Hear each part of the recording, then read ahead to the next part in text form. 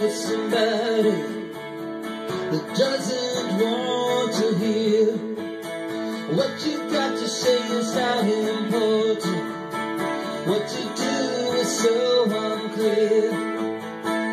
If I had all of the answers to the questions in my heart, I would still let you ask your opinion, but you don't. say